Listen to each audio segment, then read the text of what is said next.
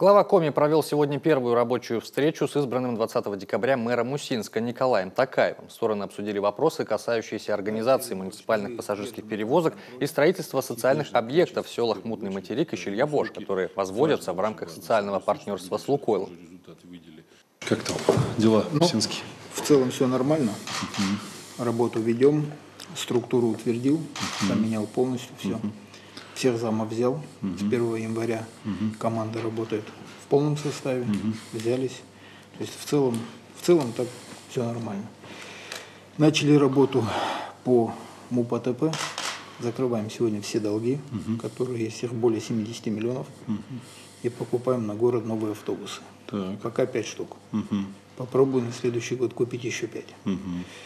Вот из, ну, из тех задач, которые уже выполнены. Угу. Значит, вернули газету. Понятно. Тоже сделали. Тоже Люди тема. просили, вернули. То есть сегодня в село все поставляется. Угу. Э, объехал село, угу. побывал в дальних, не еще не везде, но угу. был в самых таких наших угу. удаленных. удаленных.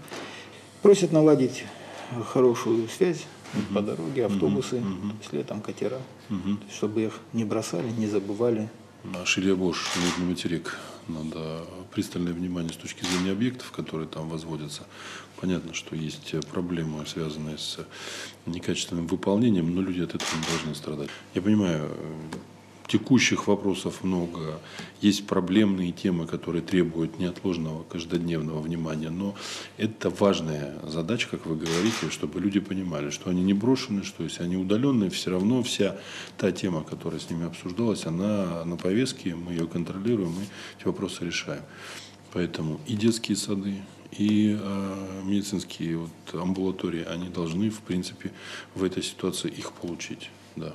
Вот как бы там сложно не было, чтобы там мы не предъявляли какие штрафные санкции, как бы не разбирались с подрядчиком, объекты должны быть введены. Есть Поэтому мы максимально стараемся, помогаем, оцениваем, так сказать, в том числе и усилия ваши. Вот, поэтому тут совместными усилиями надо добиться результата. И я рассчитываю на вас, что эта задача будет выполнена. Также Сергею Гапликову доложено о ходе строительства тепличного комплекса «Сосногорский». В совещании принял участие заместитель гендиректора группы компании «Ренова» Владимир Лукьянов.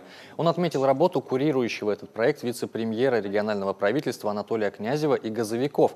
Так тепло удалось подключить на неделю раньше сроков. Сейчас готовность по оборудованию стопроцентная. Небольшая задержка есть по строительно-монтажным работам, но ее хотят нагнать.